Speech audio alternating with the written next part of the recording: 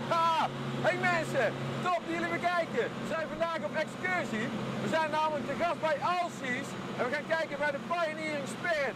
Dat is het grootste werkschip ter wereld.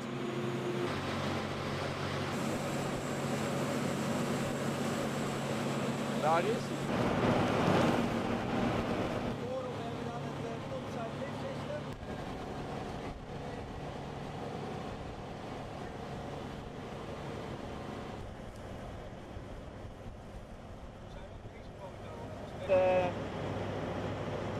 Kijken. De Pioneering Spirit gebruiken we voor eh, een drietal dingen. Eh, we gebruiken hem eh, om het- dus die topsites in één keer weg te halen.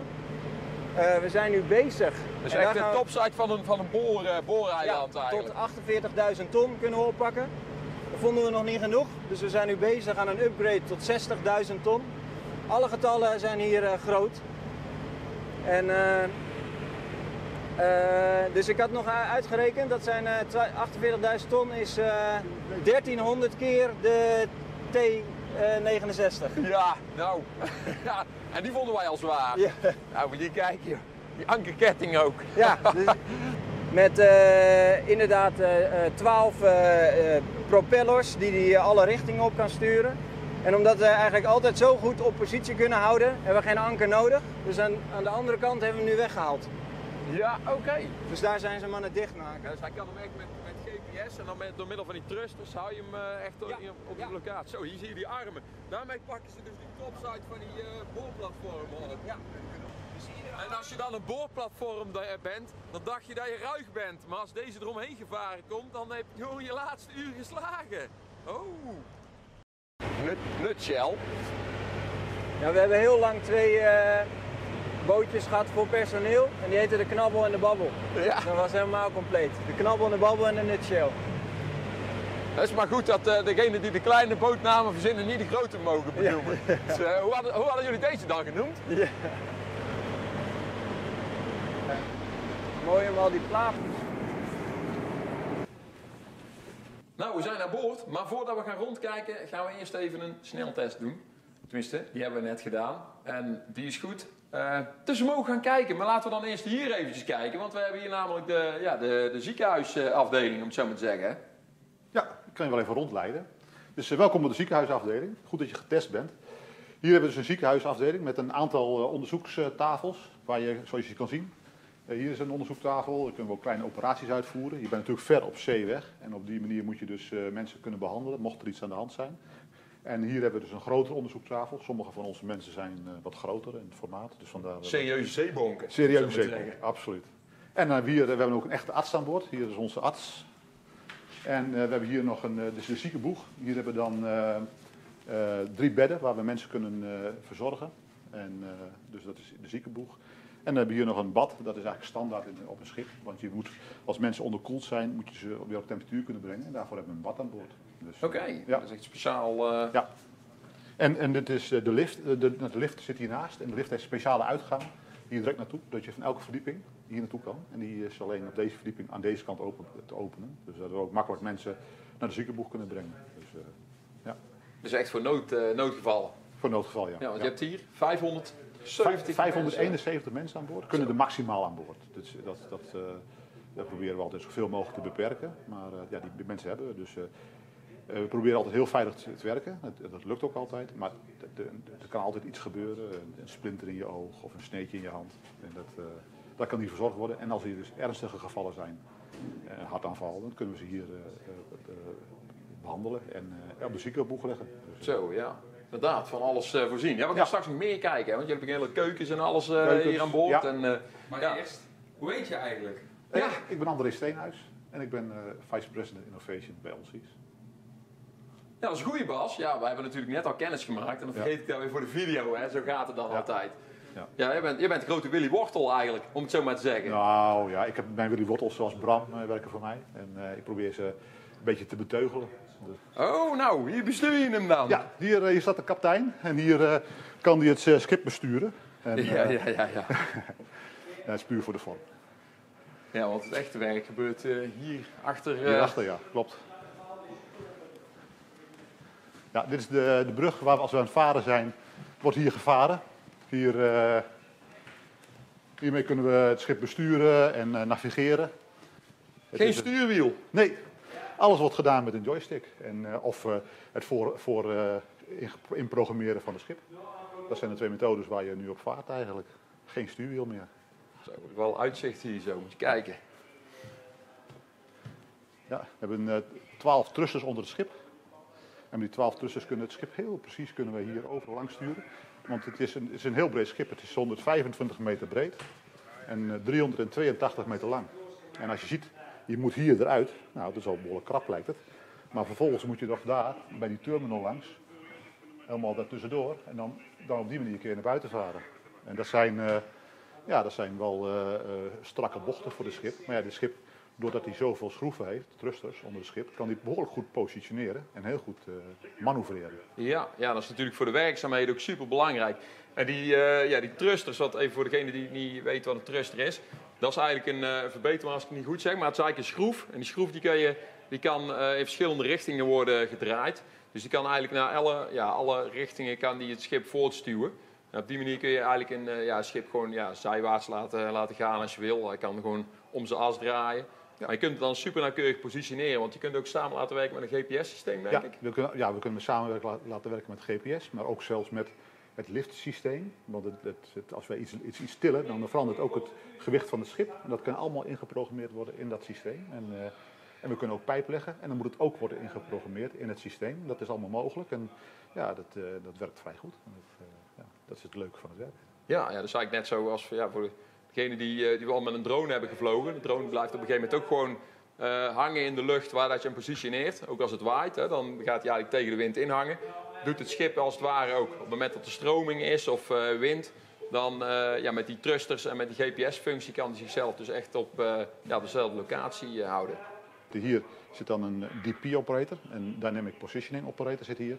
En hier zit een Detentioner Operator. En die zorgt ervoor dat de pijp met een goede kracht, met de juiste snelheid aan boord wordt, eh, wordt gehouden en ook wordt neergelegd. Dus deze man die bepaalt exact de positie waar je moet gaan varen, hoe, hoe het schip gaat varen. De survey crew die daar zit, die de kaart in de gaten houden, die houdt in de gaten waar we heen moeten en of we nog op de goede positie liggen. En als dan iedere keer, dan komt er een stuk van 24 meter komt, er- wordt daarbij gelegd. En die wordt dan een zogenaamde pool gemaakt. Als er dus last klaar is, wordt een pool gemaakt. Dan gaat het schip gaat dan 24 meter, in dit geval naar achteren varen. Nou, dan moet hij, eh, dat programmeert hij in. En deze meneer die zorgt ervoor dat er dan 24 meter pijp naar buiten wordt begeleid. Ja, dat is eigenlijk de, de snelheid van het schip ten Ja. opzichte van de snelheid dat de leiding eruit komt eigenlijk als het ware. Dat, is, dat, dat regelt... eh, dat, regelt, ja, dat regelt, wordt hier geregeld. Dus, Ja, dan gaan we straks nog helemaal eh, tot in detail bekijken, hè, de pijpenfabriek. Hè? ja, klopt. Maar ik denk eerst, eh, ja, dat we misschien dit even moeten gaan bekijken. Ja, dat is goed. Helemaal goed. Dat is Dit is ook, ja, dat hebben we net al een beetje van buiten gezien natuurlijk. Maar je ziet daar een aantal van die gigantische armen zitten. Eh, en daar zitten dan eh, voor die, die rode dingen die eraan zitten, dat zijn eh, hefbomen. En daar zitten eigenlijk eh, ja, van die, van die ja, lijken wel grijpers, maar het zijn eigenlijk gewoon vormen die rond de poten van een, eh, ja, een olieplatform kunnen. En dan kunnen ze olieplatformen ja, lichten en, eh, en plaatsen eigenlijk. Ja, het zijn niet alleen olieplatformen, het zijn ook steeds meer transformatorplatformen die we moeten installeren. Dus grote eh, transformatorplatformen waar alle windmolens op inhaken, voordat er een, een, leiding naar, eh, naar land gaat. Inderdaad, het zijn 16 balken die we hebben en die werken meestal in paren van twee. Dus we hebben acht van dat soort ho- ho- hoefijzers. En die hoefijzers kunnen we om een paal heen doen. En op die manier kunnen we liften. Dus dat is eigenlijk hoe, het, hoe we het doen. Nee, dat niet. Hey. Nou ja. Net echt. Hè? Ja, doe het echt hè? Ja, maar dan gaat hij wel over de dingen volgens mij. Nee, dat is Dat is echt, dat is echt, niet dat is echt te ja? horen. Ja, ja, ja, ja. ja, Ik dacht, ik dacht hier. Ik Nee, denk, nee, nou, nee, maar voor de gek. Ik heb dat de auto stuurwiel net gezien en zo. En de gong en zo. Hé, maar hoe werkt dat heffen dan, eh, dan precies? Want ik zie daar die, die, die rode armen eigenlijk. Dat zijn die levers, hè? Dus Ja. daarmee tilt hij eigenlijk het, platform op, als het ware. Ja, die, die, die rode levers, zoals je ziet, daar tilt hij mee op. En die draaien, er zit een scharnierpunt in die balk bovenaan. En daar kan hij dus in draaien. En als hij hem omhoog draait, dan dat draaien gebeurt met een grote cilinder die in de balk zit. Die kan je nu niet zien. En die cilinder die, die drukt hem uit. En op die manier kan hij dus een hefbeweging maken. Dus hij maakt dan wel een cirkelbeweging. Dus als we heffen, dan gaan ook de balken naar buiten toe. En, eh, maar voordat hij gaat heffen, in Ja, die- dus echt om, om te compenseren eigenlijk. Want je, ja, die, die rode armpjes zijn natuurlijk zo. En je snapt als die, eh, ik zal ze even dicht bij elkaar houden. Als die zo gaan draaien, je ziet het dan, mijn vingers die bewegen naar elkaar toe. Ja, dat wil je natuurlijk niet hebben, want dan, eh, ja, dan knijp je je platform fijn. Dus dan moeten die armen terwijl ook naar buiten toe gaan. Ja. Dus dat is een systeem wat goed samen moet Ja, werken dat moet helemaal goed natuurlijk. samenwerken. En, en ook als hij dan, eh, want eerst gaan we ballasten, eerst gaan we dus opbouwen naar 80% dat hij omhoog drukt. En tijdens dat hij 80% omhoog drukt, met- ja, dan, als we dus 100% in één keer gaan liften, dan zinkt het eh, schip te veel in. Dus we moeten gaan ballasten. Dus dat, we gaan ballasten is, even voor de, voor de, voor de leken, is ehm, dan laat je eigenlijk water in het schip lopen, waardoor het schip eigenlijk dieper komt te liggen. Dat is eigenlijk het eh ballasten. Ja, ja klopt. Ja. Helemaal correct. En, dan, en dan, dan, op die manier heb, dan bouw je de kracht op tot 80% per liftpunt. En dan, als je dat hebt gedaan, dan heb je dus nog 20% over. Nou, dat is een inzinking van het schip, wat we gewoon makkelijk kunnen, eh, kunnen hebben. En dan ga, druk je eigenlijk een beetje de, de, de veerkracht uit het schip als het ware. ja. Want hij, hij begint eigenlijk tegen het platform aan te drukken. Dan gaat het schip gaat eigenlijk naar beneden. Ehm, maar dat, dat doe je met die hydraulische cilinders. Hè? ja, hydraulische cilinders, ja. Ja, dus die, die, die 80%. Dus dat wil zeggen dat het, het, het eh, boorplatform eigenlijk nog steeds met 20% op zijn eh, fundatie steunt. Dus dat hij nog niet eh, losgetild kan worden. Ja, helemaal correct. Ja. Helemaal correct. En, en, maar, dan moet, de, maar het schip blijft bewegen natuurlijk. Het beweegt in alle richtingen. En deze balken kunnen dus ook in alle richtingen, alle 60 graden van vrijheid, kan, die be- kan dus meebewegen met het, met het schip. Zodat want het platform staat stil. En dat er zo weinig mogelijk krachten op de platform worden over- overgedragen. Nou, als je dan nog die 80% hebt gedaan en je hebt nog 20% over, dan gaan we dus in 10 seconden proberen we dan die lift eh, te doen. En ja, dan moet je dus heel veel energie. In één keer moet je die energie hebben. En daarvoor hebben we die, die grote witte eh, cilinders die aan de zijkant zitten. Daar wordt eh, lucht onder hoge druk in bewaard. En die komt dan in één keer komt die, eh, eh, wordt die, eh, komt die vrij. En dan daarmee eh, drukken we het hydraulische systeem aan. En dan kunnen we in 10 seconden kunnen dan een lift maken. En dan kunnen we dan die hele zware platform optillen. En die, van, die, van die luchtdruk, hoe maak je daar dan eh, oliedruk van? Want je hebt dan Ja. een pneumatisch... eh, Ja, je hebt dus een grote luchtcilinder de- waar de lucht en hoge druk op, opgeslagen. En dan heb je, na die luchtdruk heb je dus een, een accumulator. Er zit een, een floating piston in. En dan heb je aan de ene kant heb je dus de lucht. En aan de andere kant heb je dan de, de, de hydrauliek. de. Ja, ja, ja, precies. Dus dan gooi je eigenlijk de luchtkraan open. Die perslucht die- die gaat in één Ja. keer in die, eh, ja, die accumulator. Ja. Die drukt die, ja, die, de zwevende zuigeraad zo naar één kant. En die olie die wordt er in één keer eruit eh, gedrukt. In de hefcilinders. Dus dan gaan die levers in één keer omhoog. En dan lift hij eigenlijk in één keer het platform eh, op. En dat dat heel snel gebeurt is eigenlijk heel belangrijk. Want Ja. ja. het schip beweegt natuurlijk op de deining van de zee. En de fundatie van het platform, ja, die staat natuurlijk op de oceaanbodem. Eh, wat je natuurlijk echt niet wil hebben, is dat door een golfbeweging dat eh, hele platform nog een keer op die fundatie bonkt. Want ja, dan zou hij natuurlijk eh, met, met zijn pootje uit een van die hoefijzers kunnen gaan. Of, ja. Wat Dan dan? heb je kans Ja. dat je in één keer op Ja. je dek ligt, eh, waar je hem niet wil hebben. Hè? Het, moet, het moet in 10 seconden, omdat hij in 10 seconden één keer zo doet. Nee, de, de, de beweging van het schip is dat het schip kan, kan dus, eh beweegt dus met, een, met een natuurlijke frequentie van 10 seconden. Dus in die tijd dat het schip beweegt, wil je gewoon dat hij eh, eh, omhoog, hoger is dan de initiële positie. Dus hij moet in 10 seconden moet hij een bepaalde hoogte overwonnen hebben. En die moet in ieder geval groter zijn dan de inzinking van het schip. Want dit tilt hem omhoog, het schip zinkt nog weer een beetje in. En, ja, en dan moet hij, die- gaat, hij, gaat hij de golfbeweging omhoog en naar beneden. En als hij naar beneden gaat, moet hij niet terugklappen op het jacket. Nee, dus je begint eigenlijk met je hefbeweging op het moment dat hij in zijn laagste positie is, het schip. Ja. Eigenlijk dat hij helemaal naar beneden gaat op de golf. En op het moment dat hij eigenlijk omhoog gaat met, de met de zee, eigenlijk dan heft hij tegelijk het platform op. Ja, klopt. Ja, dat is eigenlijk het... eh, Heel goed uitgelegd. Dit is het ballastsysteem. En ehm, dus hier zie je allemaal de verschillende de, de tanken en die, die we kunnen ballasten over het hele schip. En dat is een bepaalde procedure. Je wil zo snel mogelijk en zo goed mogelijk ballasten. Want je kan ook een, als je, een, je, hebt, je, je hebt bepaalde schepen heb je, die, die, je- die je kan ballasten. En dat je zelfs het schip kapot kan ballasten. Nou, dat wil je dus niet. ja, ja, ja, dat hij Dus- gewoon doorbreekt. eh, en het doorbreekt. ware, Maar ja, je wil hem zo goed mogelijk ballasten en eh, zo snel mogelijk ballasten. Zodat je eh, zo snel mogelijk kan varen, zo snel mogelijk kan liften. En, dat, ja, dat, en het ballasten kost gewoon tijd. Dat is een vervelend onderdeel van het hele liften. Dit, dit, is, dit is de bottleneck eh, in de tijd. Ja? ballasten. Ja, dus, eh, en dat, is gewoon, dat zijn gewoon allemaal pompen die hem eh, vol, eh, vol pompen. Vol pompen. Ja. En, en, ja, en het zijn behoorlijk eh, zwembaden die wij aan het volpompen zijn. Dat geloof ik, ja. Want je ziet hier ook weer eh, de vorm van het schip eigenlijk, hè, met, eh, Ja. met die twee boegen. Dit zijn Ja. ook echt de plaatsen van de balstanks. Je kunt nou ook zien hoeveel dat erin zit, of ja, niet? ja, klopt. Ja. We liggen ook vrij hoog nu. Nou ja, dat is inderdaad. Die zie je, dat, is, dat, is, dat het vloeistofniveau in de, Ja. in de ballasttank. En dit Ja. is de inhoud Ja, daar. ja. Dat is 170 kuub. eh, Ja, heb je 14 daar. procent. Ja. Ja, Oké, alright, on. Ja, oké joh. En de- werkt dat automatisch of, eh, of moet je hier echt aangeven welke tanks dat je wil vullen? Je, je- geeft echt aan de procedure hoe je het wil vullen. Ja. Dat is voorgeprogrammeerd eigenlijk ook dan. Eh, ja. Ja. De- Per, per project is dat Ja, bepaald. we, hebben- we hebben bepaald, we hebben dat, bepaald hoe we dat gaan doen. Ja. Nou, en dan heb je hierachter hebben we nog de brug voor, de, voor het uh, topside lifting systeem. Ja, dat is wat aan de achterkant van nee, het schip nee, nee. zit, of niet? voorkant van het schip. dus- dat is de voorkant van het schip. En hier zie je dus ook weer die balken.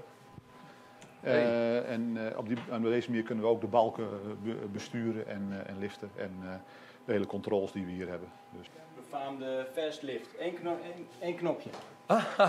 dus de groene knop, dat is Ja, degene daar. Eh, eh, gaat hij omhoog. ja, Nou joh, en dan? Hoe, eh, want dat moet je dus echt wel eh, manueel doen. Ja. Je moet dus echt kijken wanneer dit het schip helemaal op zijn laagste positie is en dan hup, en dan de knopje drukken. Ja. Knopje, dan, en dan het knopje drukken, zo. Ja. Ja, nou dacht je dat daar al genoeg controlekamer was? Ha, fout. Er is nog een controlekamer. Gaan we nou kijken. Ja, wonen aan boord hè, hier, cabins. Totaal 25.000 kilometer kabel.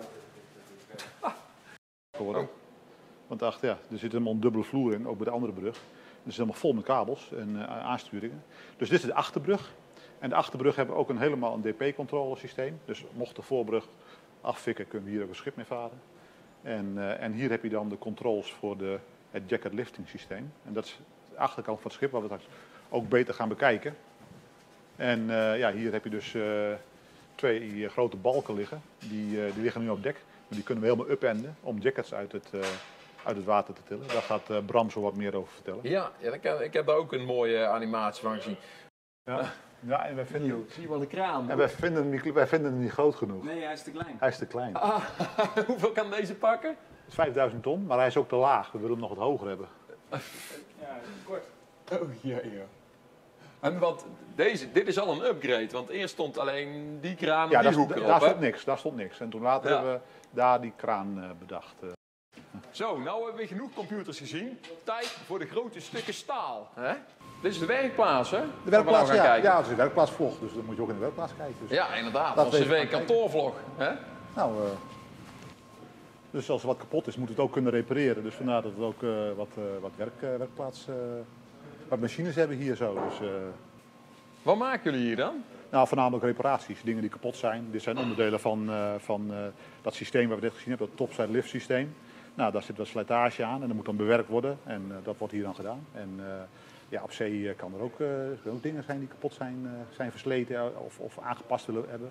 En dan wordt het hier gemaakt. Dus, Ja, dat is wel bijzonder. Maar je hebt hier ja. dus echt gewoon mensen die hier gewoon eh, Ja. bijna fulltime zijn. Heb je constant werk dan? Dus, eh, Ja, constant hè, is er genoeg onderhoudswerk om, dit, eh, om deze groep te bemannen. Ja. Die vallen bij zo'n stuk naar beneden, denk ik, of niet? Of kun je ze laten zakken? Zijn zijn Davids? Oh ja, zeker. Ja, uit de boord. Ja. Langs de zijkant laten zakken. zeker. Ja. En we hebben capaciteit om eh, dus die 571 man aan de ene kant. Als we kapseizen, nou nu is het wel heel onwaarschijnlijk dat wij kapseizen. Maar Dat is best wel hebben, breed. we, hebben we ook capaciteit aan de andere kant van het schip. Dus gewoon dubbel aantal eh reddingsboten. Ja. Zo, ja. En, eh, en eh, iedere week doe je trainen, moet je weer een keer melden. Gaat het alarm en dan moet iedereen zich melden met zijn kaartje. En dan ja, elektronisch laten zien dat je op je spot was. Dus dan kun je inderdaad vaststellen dat eh, iedereen van boord is eh, ook. Ja, ja, ja, ja.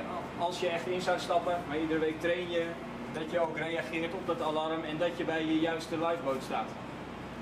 Oh, kijk dan joh. Allemaal gordels. Ha. Je moet maar eens binnenin filmen. Het is wel lekker krap hoor, met 100 man. Ja, inderdaad. Er kunnen 100 mensen in, in, eh, in het bootje. Ja, zie je die leidingen eroverheen? Dat is gewoon een, een, een blussysteem eigenlijk. Die maken gewoon een, een mist rond het ding. Dus als, eh, ja, als je heftige brand hebt, dan eh, zit je toch best veilig in die boot. Ja, ik zal niet zeggen dat het vanaf boven er klein uitzag. Maar hoe dichterbij we komen, hoe reusachtiger dat het allemaal wordt, joh. Moet je kijken, dit is zo'n arm waar dat die, die, die, die, die horseshoe aan eh, zit, hè. Die, die vork waar dat ze die platform mee oppakken. Nou, moet je kijken, joh. Hier, om hem te verplaatsen, wat tandheugels erop zitten, joh. Ja, daar zie je die wielen. Daar rijdt hij dan op. En dan met die tandheugel, eh daar kunnen ze hem dan eh, verrollen. Zo. Wat een ding, joh. En, en deze, wat hieronder ligt, ook een grote Ja, cilinder. nou, wat, wat, als, je, als je straks eronder staat, dan zie je dat daar ook een tandheugelsysteem zit. Maar je wil, als hij, als hij eh, passief staat te bewegen, hij moet meebewegen met het platform, dan ontkoppelen we de, de tandheugel daar. En dan wordt deze cilinder wordt, wordt dan gebruikt. En dan kan die op die manier in deze richting, kan die dus eh, ge- eh, ge- passief meebewegen. Dus daar is het Ah. voor bedoeld. Via die, Ja. die aandrijfas daar naar beneden. En daar zit ook weer een tandheugel met een, met een aandrijfkast. En op Ja, die manier, en dit is, dit is de motor die hem aandrijft. Dus de motor die drijft Oh, die die- elektromotor, ja. Die Die, aan die tandwielkast. ja, en die drijft dus dat aan en die drijft ook de andere kant aan. En op die manier rijdt hij dus parallel aan het dek. Precies, ja. Oké, joh. Ja, dus hier heb je inderdaad een tandheugel, maar daar ligt er nog eentje. En die zijn hier door middel van een aantal van die kardanassen en tandwielkasten zijn die, eh, zijn die dus met elkaar verbonden. Dus om te zorgen dat die arm natuurlijk in zijn geheel verplaatst en niet dat die schuin gaat. Hey, en hoe kan, eh, want, want ze kunnen ook zo vrij bewegen, of niet? Of dat Ja. niet? Ja, dat kan wel, maar dan, dan ontkoppelen we, de, dan, dan eh, zorgen we ervoor dat dit, dat dit, dit, dit dus eh, ontkoppeld is. En dat, er gaat dus alleen maar de kracht via die, die as naar de andere kant. En dan wordt de motor die draait dan niet mee. Ja, oké, dus dan er, er, is niet echt een mechanische koppeling, maar Ja, de motor mechanische draait gewoon koppeling, vrij. maar mechanische koppeling door de tandwielen en de, de kadanas. Ja, maar ik bedoel geen mechanische eh, koppeling tussen de, de aandrijving en de... Dan draait de motor draait gewoon vrij die mee draait op idle, draait hij mee. Ja, duidelijk, ja. ik zei, kunnen we nou ook zien hoe dat dan werkt? Eh, Wil je, wil je erin? Ja, die, je kunt er dus in. Zo groot zijn die armen. Alles staat vol met apparatuur. Niet normaal. Ja. Wat een installatie zeg. Ja. Hier zie je En- dus. Ja. En dan dacht je, dacht je dat dit is, maar zo staan dit- er acht kijk. van die armen. ja, dit zijn dus die... die dit zijn, 16! Het zijn er acht per kant zelfs. ja. Oh, dit joh. zijn die accumulatoren met die floating cilinder. Die zitten zijn deze. Oh ja, kijk, ja, ja, ja. Zo. En hieronder liggen er ook allemaal nog. Ja. Nee, dat zijn, eh, ja, Ja, ja, oké. Oh, dat is misschien wel goed om even te vertellen dan. Ja, die, eh, die grote buizen die hier ziet eh, liggen, ja, dat zijn dus die eh, accumulatoren. Met daarin een, eh, ja, een eh, zwevende zuiger, hè, floating piston. En die worden dus gebruikt om die luchtdruk van die cilinders aan de buitenkant om te zetten in oliedruk. En die oliedruk die bedient dan eigenlijk die, ja, de levers, de hefbomen, die de horseshoes eigenlijk omhoog bewegen. En nou ja, waarom zou je nou van perslucht ja, luchtdruk oliedruk willen maken? Dat is natuurlijk omdat eh, lucht, ja, dan kun je samendrukken. Dus dat gaat eigenlijk als een veer werken. Ja, en dat wil je natuurlijk niet. Je wil natuurlijk dat je eigenlijk met oliedruk de boel opheft. Want op dat moment kun je kleppen dichtgooien. En dan is die olie start. Dus dan heb je niet dat dat ding eh, een beetje ligt te, ligt te veren. Nou, waarom wil je nou luchtdruk gebruiken? om dan toch het ding op te heffen in eerste instantie? Ja, dat is omdat er in één keer zo'n grote bult olie verplaatst moet worden. Er is gewoon geen pomp die dat kan. En eh, ja, perslucht kun je opslaan in van die hoge drukcilinders. Onder een hoge druk, 300 bar. En dan vervolgens kun je in één keer al die energie heel snel loslaten. En op die manier kun je gewoon een heel groot olievolume verplaatsen. Dat nodig is om snel de platform op te heffen. Oh, dit zijn de kleppen. Oh, kijken hoe bizar groot het is, joh. Niet normaal. Dit... Ja, zeg. Kijk hier. Dus. Ja. Ja, groot, groot grootst. Ja, ja, Dus dit is gewoon een klep die... ja, die de... ja, ja, ja, ja, ja. Man, man, man. Net als een inbusje op zak. Ja, mooi hè. Overal eh, gezegeld. Ja. Dat doen de monteurs om te, aan te Ja. geven dat hij op eh, moment staat. En dan kun je ook controleren dat hij eh, niet is losgelopen. En soms is het ook nog zo dat elke monteur zijn eigen kleur heeft. Dan weet je ook wie dat aangedraaid heeft. Gaat de, de olie er doorheen, jongen. Ja. En dan wat, je, wat je dan krijgt is dat die lever die je net zag, die kan bewegen, die kan roteren. Ja. Maar dat betekent ook dat die cilinder een beetje kan roteren. Dus er kan geen vaste pijping zitten. Dus als je hier kijkt, dan zie je zitten slangen.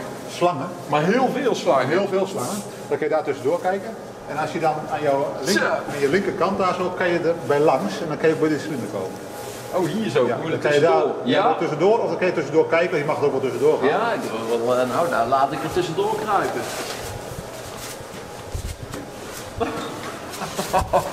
Jee, joh. Hier. Foto van.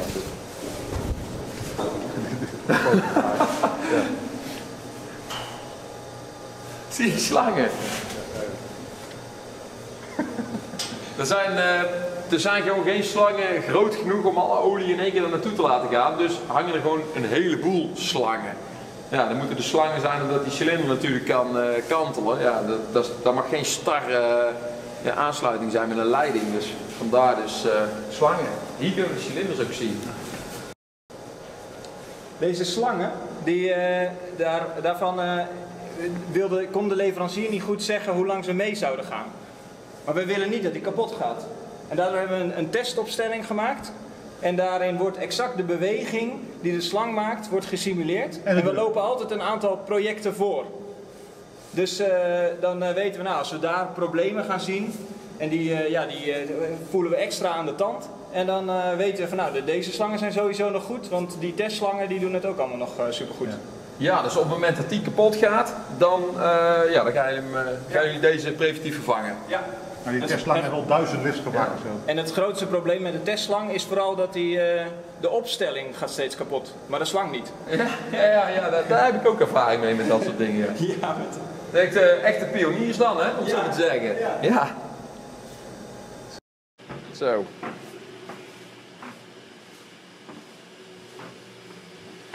Hier is het nou weer lekker warm. En hier staat nog een HPU'tje.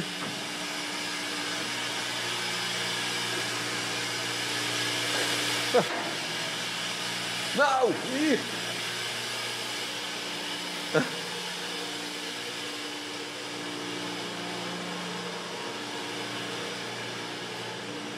En een compressortje. En die hoef ik eh, thuis niet aan te koppelen. Dan eh, springen gelijk alle stoppen. Ik denk van de hele straat. En een compressor. Hier dat zijn een. die hoge druk eh, Ja, dan. ja, ja, ja, ja. Zo, daarvoor is de helm. Ja. Nou. Ja, deze compressor die kan dus tot, tot 300 bar dan. Of, eh, even kijken. Of, oh, wacht, hier meer traps. Je kunt het hier zien. Zo. De meters gaan tot 400. Maar...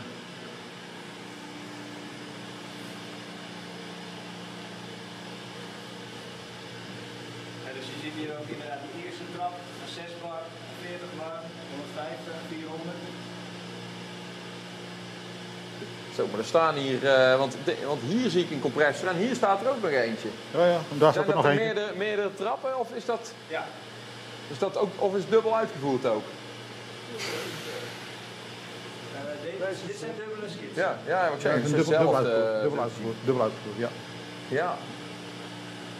Dat is wel. eh Ja, dat is een meertraps compressor. En dat wil eigenlijk zeggen dat je dus meerdere cilinders hebt. Ja, het is namelijk zo met, eh, met lucht. Als je dat op druk brengt, ja, dat comprimeert. Dat wil zeggen dat het volume steeds kleiner wordt. Eh, dus daarom zie je ook dat de, ja, de eerste ja, de trap, dat, zal, eh, dat, is, de grootste natuurlijk. En dat wordt steeds kleiner. En volgens mij is dat ook een... Nee, nee, ik wou zeggen, het is een gestapelde cilinder. Dat zie je ooit ook nog wel. Als dat er twee eh, cilinders op één ding zitten. Maar... Ja, dus hij gaat eigenlijk van, eerst van de, van de grootste cilinder gaat hij naar een maatje kleiner en dan nog een maatje kleiner en dan uiteindelijk naar het drukvat.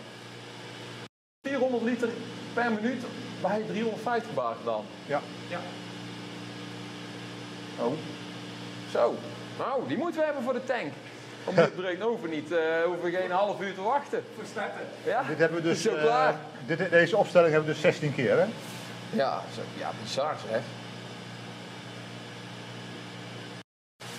hey, deze balk, dat is eigenlijk geen deel van de constructie, maar dat is gewoon een hijsbalk. Dus kunnen ze een, een loopkatje aanhangen met een, eh, met een takeltje. En dan kun je dus inderdaad hier eh, ja, zware onderdelen eruit hijsen en verplaatsen. Ja, Hmm, zo eentje ja, zo. Oh, dus, Hij doet, eh, ja natuurlijk. Ik zit allemaal te denken, dit, alles wat hier zit is, is om, over die hefbeweging, maar dat is natuurlijk niet. Dat is ook voor die andere bewegingen allemaal. Ja, ja hier zie je inderdaad eh, de richtingen allemaal. Ja. Zie je de Z, de Y-richting, X, er even staan. is de motor. Dat is met die, die Cardano's. Oh ja, dat zijn de buitenkanten, niet hydraulisch. Ja. Dan staan we onder zo'n arm. En eh, ja, die armen die kunnen dus eh, ja, zo bewegen. En dat eh, doen ze hier door die tandheugels die hier eh, zitten. Kijk, je ziet daar allemaal van die kleine tandwieltjes zitten, ronsels. En die worden aangedreven door die elektromotoren die hieronder hangen. Dus op het moment dat die arm gaat bewegen, dan wordt dat gedaan door die elektromotoren. Maar dat is nog niet alles. Dit hele frame waar die elektromotoren aan zitten, die kunnen ook worden bewogen. Eigenlijk, tenminste. Die kunnen eigenlijk vrij bewegen, moet ik zeggen. Want je ziet daar die hele grote rode cilinder. En die zorgt eigenlijk, ehm, dat moet ik eigenlijk goed zeggen, eh, heel dat blok waar dat die uh, ronsels op zitten, kan bewegen. En dat kan eigenlijk met die cilinder worden geblokkeerd. Dus op het moment dat ze die heugels naar het eh, eiland toedraaien en ze zitten op de positie, dan kunnen ze vervolgens die cilinders eigenlijk vrij laten bewegen als het ware. Dus dan kunnen ze zich ja, zetten naar de beweging van het schip als het ware. Ja, op, het moment dat ze dan eh, willen gaan heffen, dan wordt eigenlijk die eh, cilinder geblokkeerd. Dus dan kunnen die armen niet meer vrij bewegen en dan gaan ze heffen. Ja. Dat is eigenlijk, zo is het eigenlijk. Ik hoop dat iedereen het een beetje snapt. Het is best, terwijl ik het aan het vertellen was, ik, probeerde het zo simpel mogelijk te vertellen, maar het werd toch een ingewikkeld verhaal. Hé hey joh, daar, daar ligt nog zo'n schip. Oh nee, het is hetzelfde schip. Hé, hey. Ik zei al, we zijn op de verkeerde boeg, want hier is geen ankerlier. Maar hij staat er nog wel. Ja, ja, dit anker komt te vervallen, maar eh, ja, dat is nog een, eh, een ankerlier. Ik weet niet of iemand nog toevallig een, eh, een plezierjakje heeft waar hij een eh, lier voor nodig heeft, maar... Ja. Oh, Ja, en hier staan eh, Bram en ik staan dan hier hier zo. staan jullie altijd te Titanicen. Ja, hier staan wij altijd de Titanic. eh, Bram en ik zo, zo van... Ja, eh, hier ben je wel iets meer Ja. king of the world dan... eh ja, dan gingen we de world! Hey, ja.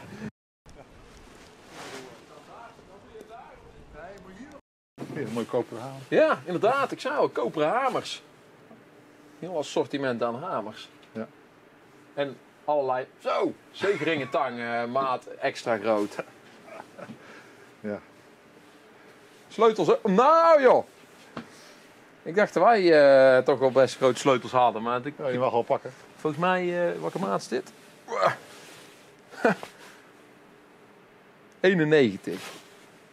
Ja, hoe groot is die grootste die wij hadden? Ook, ook een hele grote, hè? Oh ja, ja. Slagsleutels, ja, die zijn nog groter. Ja, we moeten echt een beetje doorlopen, want ik val Ja. echt van de ene Ja. verbazing in de andere hier, jongen. Wat? Het is echt prachtig, dit. Kijk dan, hoe diep dat, dat is. Van de gat. Een golf in, hè? Maar het water wordt hier natuurlijk al Ja, omhoog gestuurd. En dat klotst natuurlijk. En, eh, Ja. Maar het, het loopt af hoor, hieronder. Maar ja, tijdens het varen kan het wel enorm. eh, die bak met water die je voor je houdt natuurlijk. Ja, het is niet de meest aerodynamische vorm, Nee, eh, om nee, het zo maar te zeggen. Klopt. Hoe aerodynamisch, dat is bij vliegtuigen. Hoe heet het bij een schip eigenlijk? Hetzelfde. Ja, ja, nee, hoe noemen we dat? Eh, hydrodynamisch, ja. ja. Ja, hydrodynamisch, ja, natuurlijk. Ah. Hier zie je ook die spittels, hè, om hem eh, vast te drukken als die helemaal boven staat. Oh ja, ja. Ja, daar, aan het, eh, daaronder. Zie je daar eh, onder, de, je ziet daar die rode hefboom en daaronder zie je een rond ding zitten. Ja, dat is eigenlijk een hele grote spindel, een schroefworm als het ware. En op het moment dat de platform eigenlijk met die hydraulische cilinders is opgepakt, dan vervolgens wordt hij echt gewoon ja, mechanisch geborgd door die eh spillen die daar zitten. Hier, Ja. ze hebben ook gewoon, gewoon schattige kraantjes. Ja, leuk hè? Ja, ja, ja, ja, ja, ja, ja. Heel Wat mooi. Schatje. Ja. Ja, ja, die moet er onderdoor kunnen. En die, ook die, die kraan die we hebben waar, we zo langs rijden, die moet hier onderdoor kunnen rijden, zodat hij naar voren kan rijden. Ja. Nou, hier- hier, is de fundatie van een eh pijptransfercrane. Dus een, pijp, een kraan waarmee we dus pijp aan boord laden. Want er is ook een pijplegschip. En die pijpen kunnen we dan aan boord laden met deze kraan. Die zie je de boom van. En daar zie je ook de andere kraan verderop. Dan komt die pijp die we laden van een bak langs zij, die komt deze, tegen, tegen deze bumper aan. Dan wordt die daar neergelegd op die conveyor die er ligt. Oh hier joh, dit eh, met die rubberen blokken erop, Ja. dat is gewoon echt... eh, dan wordt hij bonkt hij uitgedempt. gewoon tegenaan, Ja, bonkt eh. tegenaan. En die pijpen zijn altijd 12 meter lang. En die kunnen dan hier aan dek worden opgeslagen. Of die kunnen met het... op die rails. Ja, wacht, daar liggen, nu liggen daar die fenders op, maar Ja. die, die horen er eigenlijk niet. Nee, die horen er niet. Die zijn er tijdelijk opgeslagen daar. Ja, duidelijk. En dan kan die aan dek worden opgeslagen. Of ze gaan direct de productiestraat in. En als ze de productiestraat ingaan, heet daar onder in de onder accommodatie zit het zogenaamde double joint factory. Dus dan gaan we dus iedere keer twee pijpen aan elkaar vastzetten van 12 meter, zodat je stukken van 24 meter krijgt, zodat je nog sneller kan gaan lassen. Dus eh, ja, dat, dat gaan we zo eh, lopen er even heen. Dan kunnen we even naar kijken. Ja, dus we gaan, nou gaan we echt kijken naar het, eh, de, de pijpenfabriek. Ja, en deze kraan is wel heel bijzonder, want deze kan dus aan de buitenkant staan. En dan kan hij dus de kraan eh, over, eh, overladen. Of hij kan naar binnen rijden. Ja, hij over deze staat op, constructie. eh, op rails. eh, Ja, dat eh, ook. noemen we het hunebed. En dan kan hij aan de binnenkant kan die dan eh, de, de, de, de, de, de forklift eh, kan die, eh, reparaties uitvoeren of eh, onderhoud. Kijk, hier zie je die kettingen. Kijk, en dan zie je van die, eh, van die steunen. Daar liggen dan die eh, pijpen in. En dan worden ze met die rails, met die ketting, hier worden ze eigenlijk eh, naar binnen getrokken. En dan gaan ze hier, daar langs die, eh, die flapjes die hier hangen, gaan ze naar binnen. Nou, laten wij ook gauw naar binnen gaan. Wacht oh, oh, En actie. Oké! Nou, dan komen we door die, door, die, eh, door die flapjes heen komen die pijpen naar binnen. Op deze conveyors. En die worden hier naar binnen gereden, hier zo. En dan heb je hier, zie je daar zo'n zo'n overheidkraantje staan. Daar zie je er drie. En aan deze kant staan er ook drie. En daar hangen grote machines in. Ja, voor jullie is dat een kraantje, ja. Dat is een hele mooie grote kraan, hoor. Mooie kraan, hè? Ja, ja, ja. Ja. Ja, ja. En eh, ja, die, die komt, wordt naar binnen gereden, die stopt hier. En dan, hier wordt er dan een machine in gestopt, een zogenaamde beffelmachine. En die maakt dus een heel mooi laskantje aan, de- aan, de, aan de pijp. Oh ja, dat je afschuining Ja, eh, ja die, een mooie laskant. En, dan, en als die dan laskant, deze, deze laskant ziet er anders uit dan die laskant. Want die laskant wordt straks aan elkaar gelast onder poederdek. Dus dan, en dat gaan we zo bekijken. Dan lopen we nu naar het volgende station. Dit is wel leuk om ook nog even, want dat had je straks al verteld. Het is niet dat ik daar nou in één keer zie. Maar die kettingen die daarin in liggen, dat, zijn, dat is voor eh rupskettingen eigenlijk. hè? Caterpillar caterpillar Ja. kettingen. Ja. Kijk, eh, heel dikke laag eh, beton dikke, eromheen. dikke staallagen dan beton om hem ook stabiel op, de, op het zeebed eh, te laten liggen.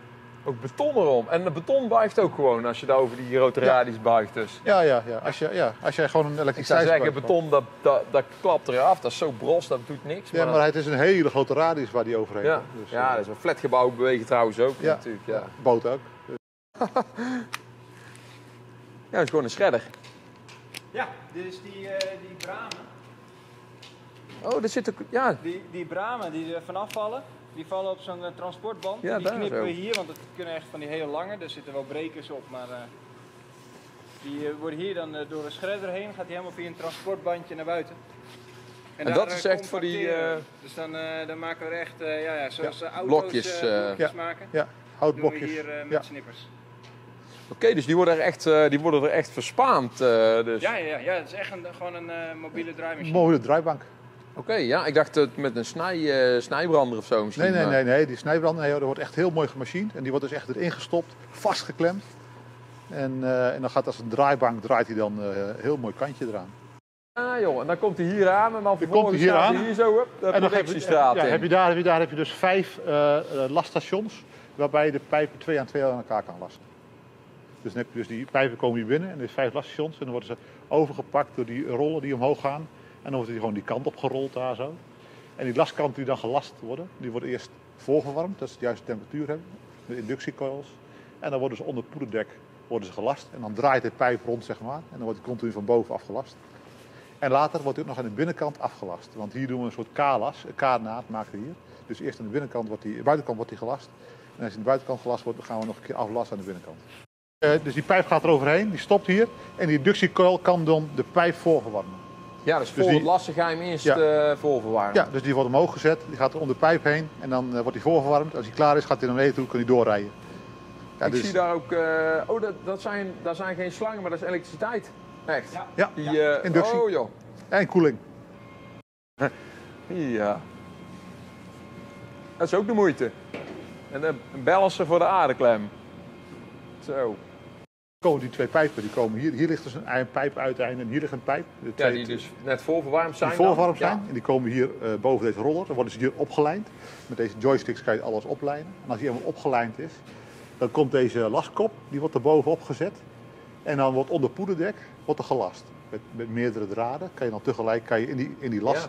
Dus je heft, hem, je heft hem eigenlijk met die rollen en die daar zitten, hef je hem op van, vanaf Ja. deze rollen natuurlijk. Juist, want ja. die zijn hem om, om hem in te voeren. Ja. Dus je tilt hem iets vrij. Dus dan kan je hem zo laten ronddraaien. Ja, dan ga je hem eerst lassen. oplijnen. Ga je Ja. eerst oplijnen. Dan ga je las van bovenaf. En dan ga je deze rol druk je onder tegenaan om het las dicht te drukken. Dus hier gooi je die poeder in. Dat zijn die poederbakken. Dat valt naar beneden. En eh, ja, hier heb je dan de hoogteverstelling. Dat die continu kan bijrichten met het, eh, met het lassen. Dus heb je dus vijf stations heb je naast elkaar staan. Dus eh, om de productie eh, bij te kunnen houden voor de mainline. Ja. Sorry. Hier heb je ook weer een onderpoeder- onderpoederdeksysteem. Hier heb je maar twee stations. Hier heb je ook geen line-up klem meer nodig. Nee, Maar- ze zitten al aan elkaar gelast Ja, natuurlijk dus, dan. dus hier Ja. maak je de laatste las aan de buitenkant. En hier wordt aan de binnenkant gelast met deze machine die hier staat. Oh ja, dat is een soort van hele grote doorn die hoort erin. eh, Ja. Hier zie je de laskop. Dit is de laskop. En deze lange pijp die rijdt helemaal de pijp in. 12 meter Ja. de pijp in. En dan kan hij precies, in 12 meter kan hij dus hier lassen. Er zitten camera's op. En vanaf hier kan je dus kijken van, eh, wat, eh, hoe, de, hoe er gelast wordt. Maar het was volgens mij lunchtijd, Ja, hè? Ja, ja, mooi. Ja, we moeten ook even kijken hoe dat Hoogtepunt hier aan de boord aan dag. toe gaat met eten en zo natuurlijk. Ja. Ook leuk. Ja. Oh, je komt hier wel aan je lichaamsbeweging. Maar als dat nog niet genoeg is, ze hebben ook gewoon een eh, gym. Is sauna. Joh. Ja. Ook sauna. Er zit niemand in. Hé, hey, Hé, dat is wel lekker warm. hey, dat, eh, dat vroeg eh Sharon toevallig. Zijn, zijn er dan ook vrouwen aan boord? Eh, ja. Ja, dus niet Zeker. alleen een man, Nee, mannen nee, nee hoor, nee hoor, echt niet. Het zijn ook stoere zeevrouwen. Echt stoere zeevrouwen, stoere ja. zeemannen. Ja, hele toffe vrouwen. Dus eh, ja. Ja, Bas. Nou wil jij ook hier komen werken, hè? Gaan we zo meteen inschrijven, denk ik. Ik zou het doen. hoeft niet. Ik ga zo aan de slag, hoor je Ik ga dat? van de slag. Nou, nou. Nou, neem jij de camera mee? Oké, ik ga eten. Succes, Bas. Zo. Was een beetje moeilijk eten zo, Bas. Ja, ik heb wel honger van gekregen, hoor. Nou, anders ik wel. Ja, Wie moet je jij? kijken. Wat staat er allemaal op het menu? Ja, ik, heb mijn, ik heb mijn bladje er al bij. Ja. Ja, ja. Hebben, hè? Ossenstaart. Zo, dat zou iets zijn, hè? Hey. Kijk nou. Ja. Ja, ik had een, eh, ik weet zeker dat ik deze vroeger ook na had willen bouwen. Maar dan wel van technisch Lego, dat alles kon bewegen ook natuurlijk, hè. Zo. Nou, dus de keuken. Is de, de afwas. eh, ja, alles. Die wordt allemaal opgediend. En dit zijn de fornuizen. En de fornuizen die zijn echt nooit wat aan. Dat ze gewoon eh, moeten zo snel gaan ze weer alweer koken. Dat ze gewoon aan laten staan. Maar eh, ja, dat is onze, onze kok. De belangrijkste man aan boord zeggen ze ook wel eens, hè, de kok. Wat, wat maak je? Okstel. Oxtail. Ah, lekker. Die heb ik net op. Ja? Ja, ja, lekker, zeker. Ja. De bakket. Schep je suiker bij de koffie? ja, dit is ja. Hey. Ja, was even wennen met de camera. Leuk. Hey Jeff, we mogen even in jouw hut kijken, toch? Tuurlijk. Kom mee. Nou, welkom. Kijk dan. Klein hutje. Dank u. Kijk eens. Het is eigenlijk voor twee man bedoeld, maar ik slaap vandaag eh, in één hier. Dus eh, een, eh, een bedje boven elkaar. Nee, wel een eigen toilet en een douche Een ook. toilet en een Ja. douche. Ja, het is niet gek. Zie je een douche? Ja. En als je met z'n tweeën eh, in een hut zit, dan draai je tegengesteld. Dus de ene zit werkt van 7 tot 7 en de ander van eh 7 tot 7. Ah, 7 ja. tot 19 of 12 tot 24, 24 tot 12. Dus je lost elkaar af, Ja, dus je ligt ja. nooit Ja. met tweeën. Ja. Precies. Ah, precies. Duidelijk. Je hebt ook niet echt last van elkaar, dus als je hebt geslapen. Zo. Hey, Want jij, jij bent er maar voor een, een dag, zei je. Ja, één nachtje, twee dagen. Ja, ja, ja. Omdat? Dus, eh, nou ja, normaal gesproken eh, kan je op kantoor kan je maar acht uur werken. En als je blijft slapen, dan mag je 12 uur werken hier aan boord. Dus eh, het is gewoon mijn manier om extra uren te maken. De planning in te halen. De planning in te halen, ja. ja, ja. Ja, mooi. Ja, en je Ja. zit natuurlijk dicht bij de praktijk nou. Je kunt meteen eventjes eh, kijken hoe het er allemaal uitziet. Dat eh. is de echte, eh, de echte reden, ja. Dus ik ben nu bezig hier met wat software testen. En op kantoor kun je het maken, maar je kan het niet uitproberen. Dus dan kom ik hier naartoe en dan met hulp van mannen beneden. gaan Dat is altijd het beste, ja. Ja. Gelijk met de mannen in de praktijk even Ja. overleggen wat, wat het beste werkt. Precies. En ik ben nog redelijk, redelijk jong en nieuw bij Olsies, dus dat is voor mij ook veel om te leren. Ja. Dat is leuk hoor, absoluut. Ja. Ja, super. Ja, hey, maar wel fijn. Ik bedoel, eh, het gewoon eh, alles. Want, want dat is je wassen zo. Ik heb eh, gehoord, die hang je gewoon buiten aan de deur. Dat wordt allemaal gedaan Ja, voor je. Ja, ja, ja. het is gewoon al in. Je hangt je was hier buiten aan de deur, wordt geregeld. Handdoekje, Wasnetje. gooi je op de grond. Alles gestreken, Alles gestreken. Ja. sokjes, onderbroeken gestreken. Oké, dit was de laatste werkplaatsvlog. Houdoe. Leuk. Hey, laten we verder kijken. Ja, tuurlijk. Oké, waar waren we ook weer gebleven? We hadden natuurlijk een kleine omleiding even langs het, eh, het eten. En natuurlijk eh, nog eventjes eh, nog wat rondkijken hè, aan boord. Kajuit bekeken. Maar eh, we gaan weer verder met het, eh, het lassen van de, van de pijpleidingen. Wat je Oh hier- ja. Dat is het luik naar buiten. Oh, heb je een nu luik gaat naar het eruit. eh, Ja, dan heb je nog één luik. Je ziet, Het is een waterdicht luik. Hierachter zit nog een echt het, het, het luik. Dat heb je, nog, heb nog, want het schip kan zo diep liggen dat de uitgang hiervan onder water ligt. En de golven kunnen ook naar binnen slaan. Dus dan heb je dus een, een, een, een, een, een dubbel luik hier zo. En dit is de filing line, dit is de laststraat zoals het ook wel genoemd wordt. Voorin worden die pijpen van 24 meter aan een hele lange pijpstring die hier al ligt. Die helemaal naar de stinger naar beneden het water gaat naar de zeebodem. En helemaal voorin worden die aan elkaar gelast. En iedere keer komt er 24 meter bij. En iedere keer, iedere 24 meter verder, is een station waar gecontroleerd wordt. Waar, waar gelast wordt, of de pijp gecontroleerd wordt. Of waar eh, een, ehm, ehm, een coating aangebracht wordt. Nou, wat, hier, wat we hier zijn, je ziet er zelfs nog een beetje coating liggen. Dit is het station waar de pijp, want het waren dus twee blanke stukken pijp die aan elkaar gelast worden, wordt gecoat. En waar die de, de zeebodem heen gaat. Dus het, hier, eentje verderop heb je het luik naar beneden. Dan kunnen we nu even kijken. Ja, dus dit is echt hetgene waar dat die, eh, ja, het schip verlaat eigenlijk, hè? Ja. En dan, eh, dit is dan, eh, dit is dan het echte luik. Dit is het, het, het waterdichte luik. En als we heel diep geballast zijn, dan is het zelfs zo dat dit luik onder water zit. Zo diep kunnen we gaan liggen. Zo, ja. Ja. En dan die pijp, die, die wil natuurlijk naar beneden vallen. Dus daarvoor hebben wij hele grote machines, zogenaamde tensioners. Die houdt de pijp vast. Maar die moet de pijp wel zo vasthouden dat bij de beweging van het schip, dat hij hem, als hij het schip een beetje omhoog gaat, dat hij een beetje laat gaan. En als het schip naar beneden gaat, dat hij hem een beetje inneemt. Zodat je een continu, continuezelfde manier van de kettinglijn hebt. Dat hij niet va- varieert en dat je zo weinig mogelijk vermoeiing in de pijp krijgt.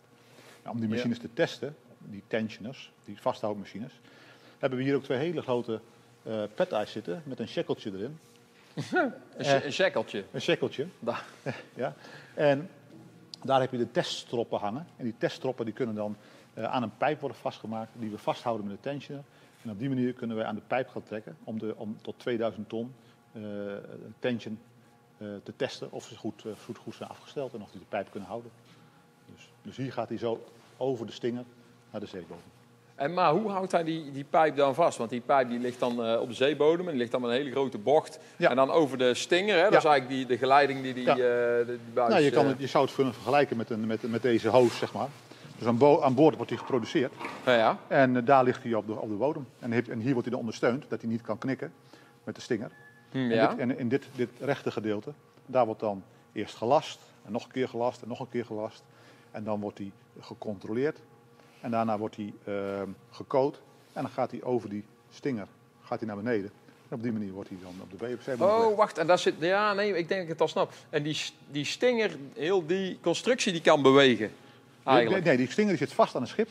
Maar het schip beweegt dus. Ja. En omdat je niet wil dat die pijp zo gaat doen, laat je, Nee, die, pijp, laat je die pijp naar buiten vieren. Dus als het schip omhoog gaat, laat je de pijp naar buiten vieren. Gaat het schip naar beneden, trek je de pijp naar binnen. Gaat het schip omhoog, laat je hem uitvieren. Gaat het schip naar beneden, trek je hem naar binnen. Maar hij zit vast aan het schip, toch? Die pijp. Nee, Hij die pijp, nee, die pijp zit dus in, in die tensions, die hem heen en weer kan laten gaan, zit die vast. Maar dan die productiestationen bewegen dan mee. Ja, dat klopt. Oh, ja. Ja, daarom. Ja, dat deel was mij niet Ja. duidelijk. Ik denk, En de die pijp die zit ja. vast in het schip. Nee, Oh, die dus productiezone dat zit- beweegt Ja, allemaal. dat beweegt allemaal mee. Dus de Oh. mensen staan op een platform, die bewegen mee met de pijp. En dus, dus dat die pijp ligt dus stil ten opzichte van de zeebodem. En Ja. Het schip beweegt er onderdoor. duidelijk. En dan- ja, dus die dingen die klemmen, vast, die klemmen vast aan, aan, de, aan de pijpleiding. En die staan op, op Ja, eigenlijk. ja. En als je niet zo hard genoeg trekt, ja, dan kan natuurlijk dit gebeuren. En dat wil je niet. Dus je moet zorgen dat die, dat die, dat die tension, die kracht, dat die continu het, hetzelfde is. Dus die wil je zo snel mogelijk, zo goed mogelijk houden. Zodat je een gecontroleerde, noemen we een kettinglijn, gecontroleerde kettinglijn heeft. En op die manier hou je hem dus eh, vast. En op die manier, en daar zijn die tensions voor. Maar als je hem laat gaan, ja, dan ontsnapt hij. Ja, ja, ja dan zakt hij eruit. En dan, en dan, knikt, en dan knikt hij daar. Zo. Eigen gewicht. Ja. Ja, ja, ja. En dat wil je niet. Dus daarom moet je hem continu op, op, op kracht houden. Continu proberen hem op die manier te, te, te- de pijp te leggen. Nou, ah, het is een vak apart. Het is geval. zeker een vak apart. Zo. Was net ook nog even een mooi verhaal. André die vertelde nog een keer hoe het dan was met die, eh, met die pijpleiding. Je hebt natuurlijk het eerste stuk wordt die, eh, geleid met die, met die stinger. Maar op de bodem, ja, daar ligt hij natuurlijk ook in een, eh, in een bocht. En ja, daarom is het heel belangrijk dat je die spanning erop houdt. Want als die spanning namelijk eh, weg zou vallen, dan zakt die pijp naar beneden en dan maakt hij een knik op de bodem.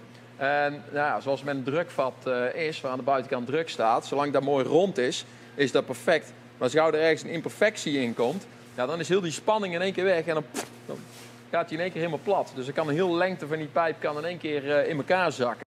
nodig. Dus je hebt hier ook zo'n groot pet-ei. Maar het rare ervan is, is dat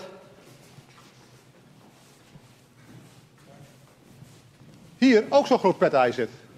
En weet je hoe dat komt? Dat komt omdat we het schip, nadat het klaar was, 7 meter verbreed hebben. Oh ja, joh. Wij, wij, eh, wij kwamen erachter dat het schip eigenlijk Te smal was. te smal was. Voor die, om, om een platform om, te sommige platforms, om sommige platforms heen te zetten. En toen hebben we besloten, en, dat, en, en het was mogelijk met de werf, om er nog 7 meter tussen te zetten. Want hij was net, niet, net, net tegen elkaar aan, net opgelijnd. Dus we konden nog uit elkaar halen. En er was, het was ruimte in het, in, het, in het bouwen.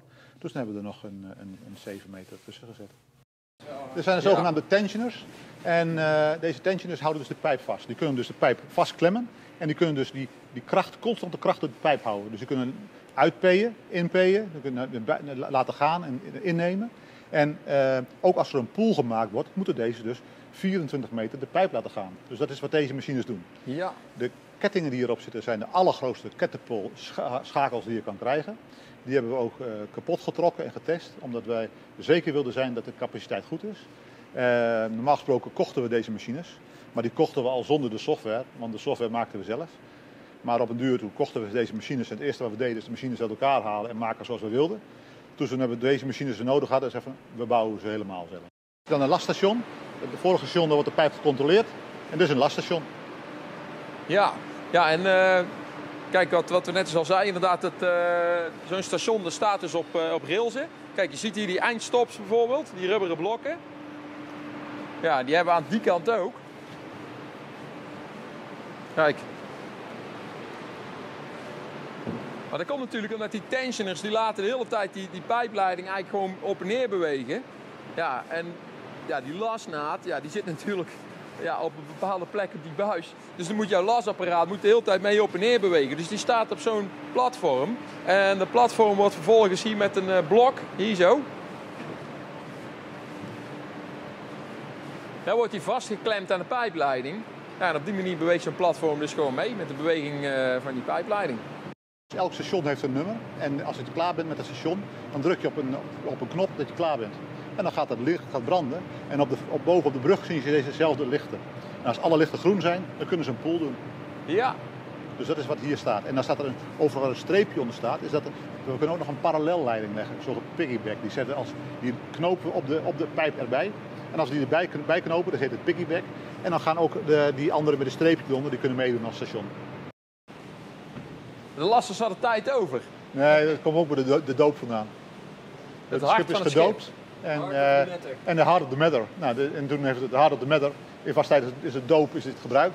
En eh, ja, toen hebben we gezegd van we moeten ook een mooi eh, plaats krijgen in het schip. Nou, dus het, nu het hart van het schip. Heeft het schip een hart gekregen. En dit is, ook, is dit ook echt het, eh, het hart van het schip? Ook echt. Zijn we nou helemaal in het midden van het schip? Of dat toch niet? Ja, ik denk het wel. Ik Denk, qua lengte wel. En qua, nee, qua lengte zit het ver achteruit. Ja. Maar de breedte is er wel. Mag het wel meer zijn? Nou, nou zijn we eindelijk eigenlijk waar we het verhaal er straks waren eh, gestopt. Dat was waar die twee eh, stukken pijpleiding aan elkaar worden gelast. Ja, die komen dan vervolgens dus hier met die lift. Je ziet daar die grote rode haken. Ja, dat is een lift. Daarmee wordt dus die eh, pijpleiding hier neergelegd op die eh, rollen. Nou, dan vervolgens, deze die kunnen, die kunnen, die kunnen helemaal bewegen. Ehm, dat is nodig, omdat hier namelijk die hele lange aan elkaar gelaste pijpleiding ligt. En dan moet het eh, nieuwe stukje wat er aangezet wordt, dat moet natuurlijk uitgelijnd worden op de pijp die er al ligt. En dat doen ze dus hiermee met deze ja, die rode apparaten met, met die lopende bandjes. Die, die doen dat. En dan wordt hij hier eigenlijk eh, aan, de, aan de pijpleiding gelast. Zien ook die lasapparaten hangen. En dan, eh, ja, dan gaat hij het hele circus door wat we daarnet eh gezien hebben ook. hey, ik zie hier zo, hier zit ook nog rollen. Hier kan je die, dat stuk pijp kan je ook nog zo laten draaien. Ja, dat klopt. Want die pijp die is niet altijd helemaal rond. En dan wil je hem een beetje kunnen draaien. En wat ook niet mag, is dat die pijp wordt meestal uit een plaat gemaakt. Dan maak je eerst, eerst een platte plaat, dan maak je eerst een U van. En uit een U is maak je er een O van. En dan ga je hem expanden, zodat je hem mooi rond krijgt. Maar er is wel gelast aan de bovenkant. Ja, En die lasnaad die mag nooit doorlopen, die moet altijd een beetje verspringen, versprongen zijn. Dus als die lastlaat precies in het verlengde ligt, moet je hem een beetje laten verspringen. duidelijk ja. En dan kun je dat met die rollen doen. En dan kan je met die rollen doen. nou, hey. oh ja. Ah, dus hier is de staalkabel.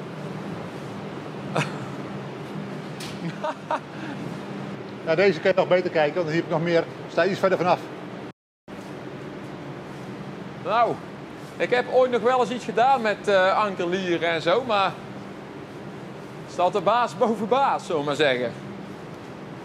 En dit, dit, zijn, dit zijn de traction winches. En die traction winches die zorgen voor eh, het opbouwen van heel veel kracht. Dus je hebt met, net eh, de drummen gezien, dat ze echt van 30 ton ongeveer afkomen.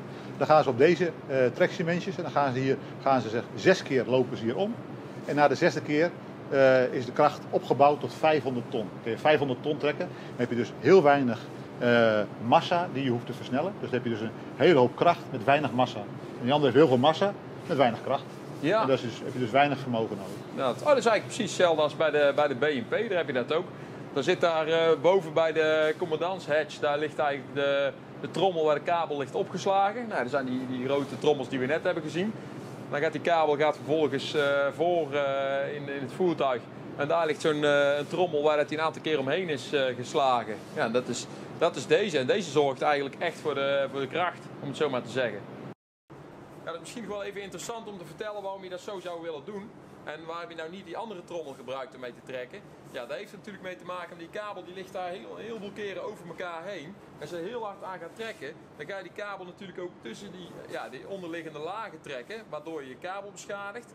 Ander probleem is natuurlijk, naarmate dat meer kabel eh, eraf rolt, dan wordt die diameter steeds kleiner. Dus dan wordt de snelheid wordt lager, eh, de kracht wordt ook hoger dan. Dus ja, dit is natuurlijk een trommeldiameter die verandert niet. Eh, ja, daar heb je gewoon een groot voordeel van natuurlijk dan. Staan hier eh, staat even een rijtje elektromotoren. Staan er gewoon eh, acht op een rij van die grote bonken. Ja, hier zien jullie de kabel helemaal eromheen geslagen ligt. Kijk, ik heb hier twee trommels. Zo, dit is de uitlaat. Dus we gaan nu langzaam zakken we af. Het is koelwater ding. Ja. Cilinderkoppen. Zijn aardige bonken. Oh, hier. We hebben, we hebben prijs. Hij ligt gewoon helemaal uit elkaar, die motor. En het schiet op met een V20. Zo. Kijk nou. Hé, hey, zitten er van die extra dingetjes aan voor de wervelingen. Ja, dat klopt. Dat is wel wat uh, nodig. Zo. Normaal zit er een motor in, dus eentje extra voor uh, noodgenerator. Ja, dat, dat, dat zijn... Je hebt, je hebt acht van die V20's. Ja, Ah. Ja, ja, die rode, rode dingen, dat zijn de generatoren. ja, exact. Ja. Ja, ja de, de aandrijving is eh, diesel-elektrisch. En dat wil zeggen, die eh, dieselmotoren die drijven een generator aan om dus eh, elektrische stroom op te wekken. En dat drijft vervolgens ja, de, de thrusters aan, waar dus elektromotoren in zitten. Zo. Maar waar zijn nou die cilinderkoppen van? Want deze zien er aardig compleet uit. Ja. Machinekamers liggen, na- liggen naast elkaar. Dus we kunnen zo naar de andere machinekamers gaan. Ik heb nog een paar motoren horen draaien. Dus, Ja, ja. Oh. Moeten zeker even doen. ja. Dat is eh, een turbo, hoor. Dat is een turbo, ja. Ja, ja, ja. Oh! Ah, die, oh, die V20 zijn zelfs biturbo's. Ja, de technische gegevens natuurlijk, hè. Laatst begonnen al mensen te klagen dat we dat nooit vertelden hè, bij auto's. Ik zei, ja, pak Wikipedia er maar bij. Maar deze, hoeveel liter zijn ze? Ja. Die vraag moeten we zo even Ja. stellen bij, Ja. de, bij de Hoofdmachinist. hoofdmachinist. Nee, de hoofdmachinist bij de machine, machinekamercontrole, denk ik. Ja, dat is niet dezelfde ruimte. Nee, er staan er gewoon weer een paar.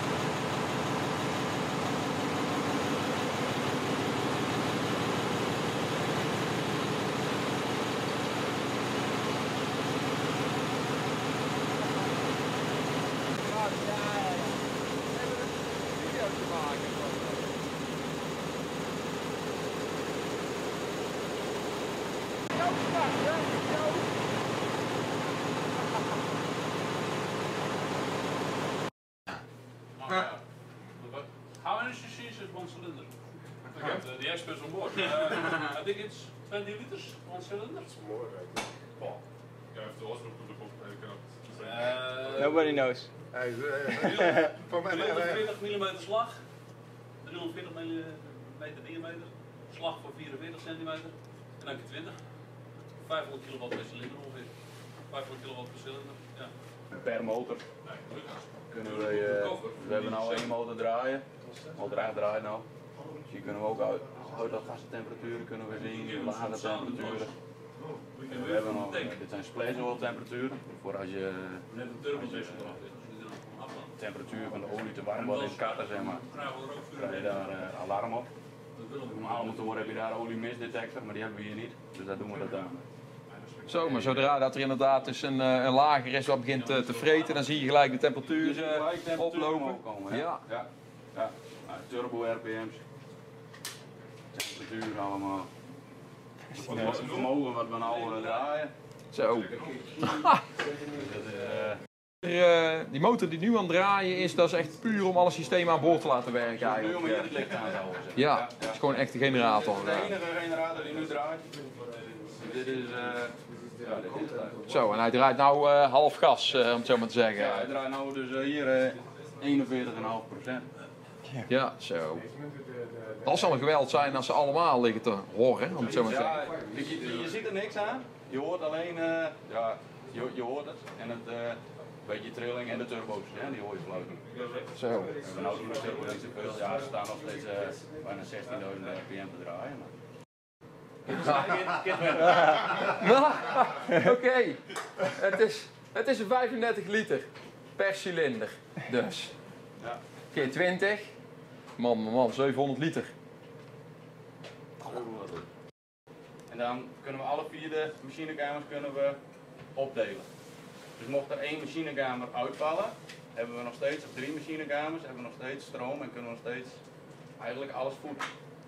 Zo moet je het zien. Dus dat is dan eh, onze redundancy. zeg. Ja, inderdaad. Ja. Je kunt het eigenlijk mooi zien, het overzicht. Ja, je Ja, ziet nee. er ook de stroomverbruikers ronder hangen. Ook, ja. precies. Je ziet die pijltjes Ja. wel. En dan kun je dus per twee motoren kunnen we één bar voeden. Dus nu hebben we alle tiebreakers, dus de tussenbrekers tussen die barden, die staan dicht. Dus nu kunnen we met één motor voeden we alles, zeg maar.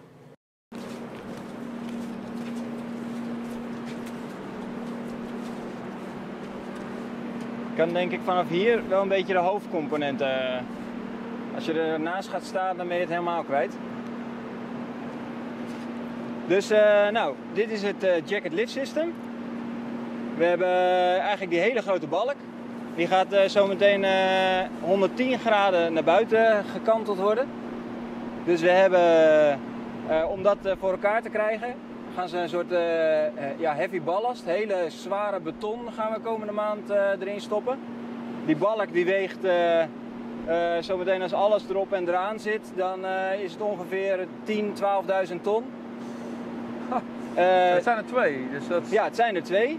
En dan vullen we de achterkant helemaal met water. Dus daar hebben we weer, ook weer een ballastsysteem zitten. En aan de zijkant, daar zit een soort klimaapje. Ja. Of, nou ja, noem het maar gerust een klimgorilla. Die steeds stap voor stap langs die tanden omhoog klimt. Ja, nou zet hij hem elke keer en duwt hij met een nokje verder omhoog. Ja. Kijk, je ziet daar die tanden inderdaad. Ik heb dat gezien van, eh, van de animatie eh, ook. Ja, Want eigenlijk even de, de langs, functie eh. misschien eventjes, we hebben in het begin al wel verteld van de video natuurlijk. Dat is als het, het eiland, zo'n booreiland, of transformatoreiland, ja, is van zijn sokkel gelicht eigenlijk, hè, van zijn fundatie. Dan staat daar dus nog die fundatie, die staat op de zeebodem. Ja, en die kan met dit ding dan eh, uit het water worden gehesen en eh, ja, dan wordt hij zo plat gekanteld en hier, eh, hier opgelegd. Toch? Ja, dat, eh, is eigenlijk de functie. En wat eh, normaliter, dat wordt ook wel met grote kranen gedaan. Maar dan moet je hem, terwijl je offshore zet, moet je, die, moet je hem dan op een bak neerzetten. En eh, wat dit systeem, systeem zo meteen kan doen, is dat we die hele staalconstructie dus helemaal naar binnen kantelen. Op zijn zij leggen. En dan varen we naar de kant toe. En dan, terwijl die eh, horizontaal ligt, eh, schuiven we hem van de balk af. Ja. Dan schuif je hem zo eh, tegen de, Ja. op de kade waar ze hem kunnen slopen dan.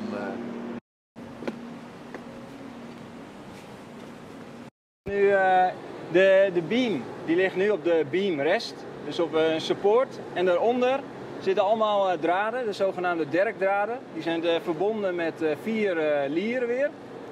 En als die balk helemaal naar buiten staat, dan hangt die eigenlijk in die draden.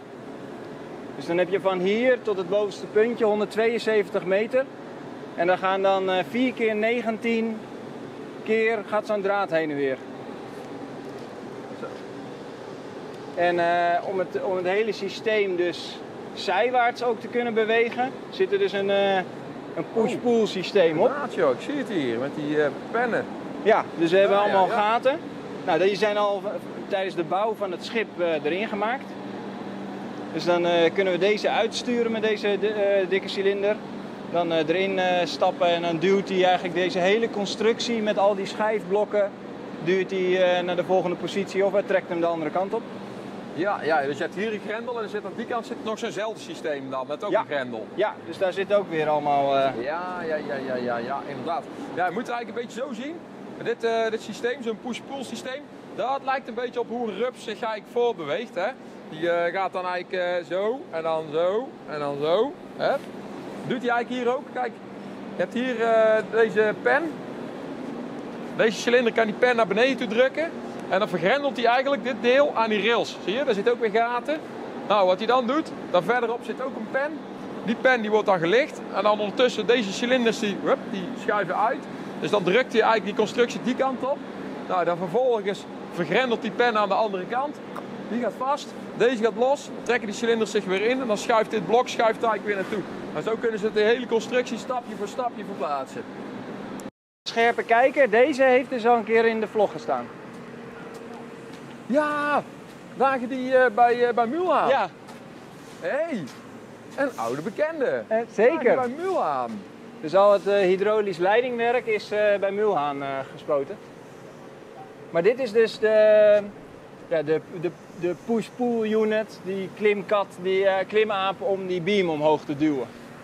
Dus die, eh, ja, die klimt zo omhoog, 4700 ton, waarmee die zich eh, vooruit duwt.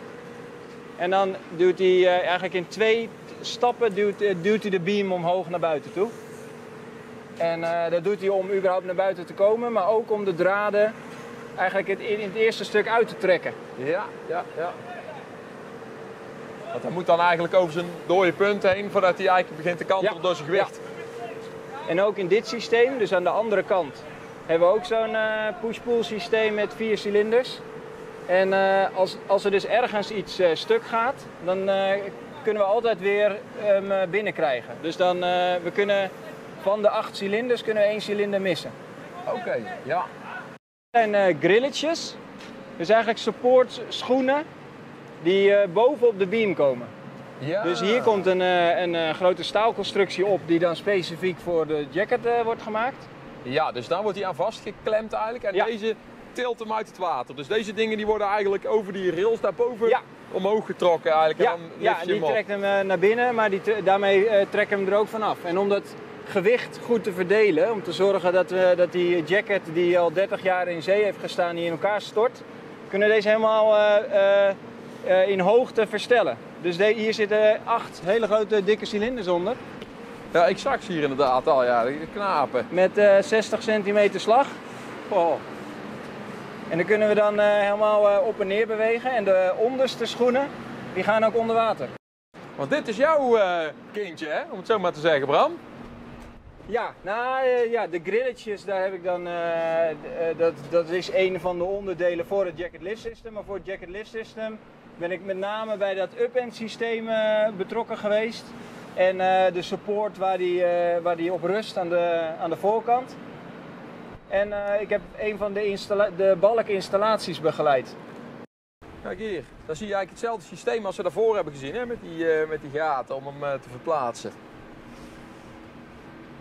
Ja, dus hier hebben we twee, eh, die, eh, die twee dikke cilinders die we toen we eromheen aan het varen waren, die we zagen. Twee keer een meter diameter hydraulische cilinder. En die heeft uiteindelijk eh 3500 ton capaciteit om, eh, om, eh, om weg te duwen. Zet in de rail. En aan de andere kant zit ook Oh, zo'n ja, pin. die grendel, ja, inderdaad. En dit is nog, ja, dat is logisch ook natuurlijk, dat die deze veel groter zijn. Want hier, eh hier, Hier zit veel meer gewicht. erop aan. Ja. ja. Dus hier eh, met deze zwarte buizen, daarmee eh, kunnen we het water eh, in de beam pompen. Ja, voor het ballastsysteem. Ja. Zo'n pen, ja, die is- kunnen we ervan afhalen. Oh ja. En als die er van af is, dan hebben we een ander brok, een steel ballast frame noemen we dat. Een groot frame wat we er omheen kunnen doen. Daar doen we blokken in, gewoon massief staal, Ha. om voldoende capaciteit te hebben dat hij toch omhoog wil. Staan onder de balk. We kunnen hem nu nog aanraken. Ja, weet je wat het is? Als je dan een schip hebt met één zo'n reusachtige balk, dan ben je eigenlijk gewoon een prutser. Want je moet er toch minstens twee hebben. Hoppa, staat er gewoon nog eentje.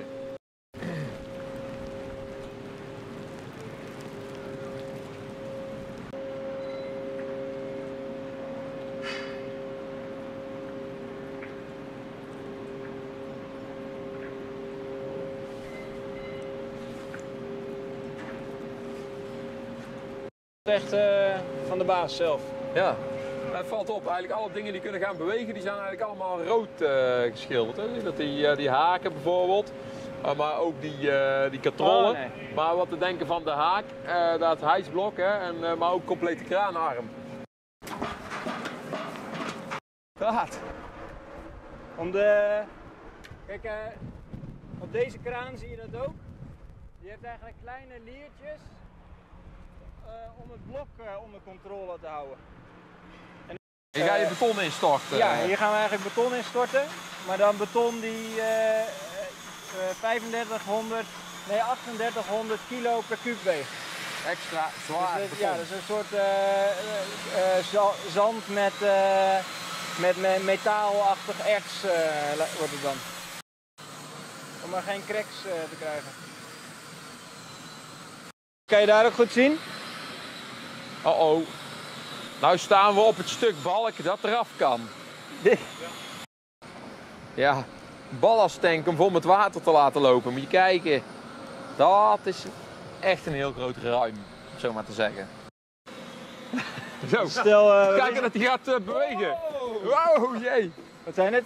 Kenianen toch? Die zo. eh, Wow, jee, jee. Dat is diep jongen, hier naar beneden. Hè? bommetje. En dan met z'n allen tegen de buisje aan hangen. Oh nee, toch zaten de boutjes van het rek niet helemaal vast. bommetje. Nog heel, heel, dek uiteindelijk. De uitlaten van de Ja. motoren. Een, eh, wat een gekke kabelladder. Maar dit is een ladder om zo meteen naar boven te klimmen als die overeind staat en we hebben problemen. Oh, ja. Inderdaad. Ja, daar zat ik ook al de hele tijd aan te denken. Ik zag net al die elektrokasten en zo. Ja. Ik denk, ja, dit gaat ook allemaal gewoon op zijn kantje, om het zo maar te zeggen. Even een fotootje maken hoor. Ja. Vind je mooi, hè? Ja, dat vond ik mooi. Zo. nou, ook een pin. Als die vast zit, dan pak vast de brander maar. nou joh. Thermische lans. Wat is de diameter? Eh, 80 centimeter. Ja. Ja. ja, en dit is dus een, eh, een meetpin. Hè? Dus ze hebben, hier zit een verjonging in. En dan, dan, zo, dan plaatsen ze rekstrookjes op deze verbinding. En dan eh, op het moment dat die dan eh, belast wordt, dan ga je daar een beetje spanning in zien. En dat meet hij dan. Dan meet je de vervorming en dan weet Ja. je eigenlijk de belasting. Ja, ja, ja. dat kalibreer je dan met nou, zoveel vervorming is zoveel kracht. Zo, dus die, eh, die komt er nou in eh, daar, in plaats van, eh, ja. Ja. die zit er daar uit te Ja, halen. dit is gewoon een, een buis die ze nagedraaid hebben. Oh kijk, schuift er zo uit, ja. allemaal de aflevering van gisteren zitten kijken. Dus die, eh, waren, ontstonden, die hadden juist koffie, dus een soort gejuich van hey, nieuw. eh." Dat is mooi. Ja, dit is nog een deeltje van de dekuitrusting.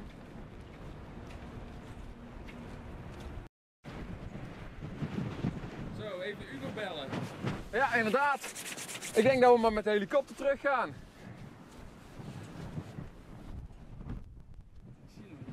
Ja, verdorie. Dan ben ik bang dat we dadelijk toch gewoon naar de kant moeten varen en eh, daar de auto moeten pakken. Hier heb je nog een mooi uitzicht op TLS.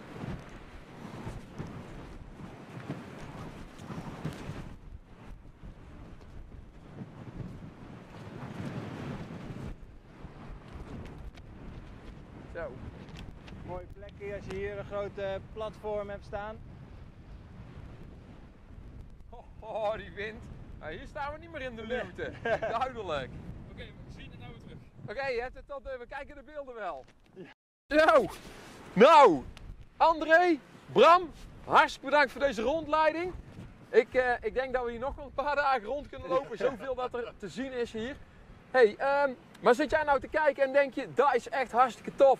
En eh, zoek jij een baan in de techniek of ben jij student in de techniek? Hè? Want jullie zoeken ook studenten. Zeker. Meld je dan aan via de link in de omschrijving. En dan zou ik eh, zeggen, hartstikke bedankt voor het kijken naar deze video. En eh, tot de volgende.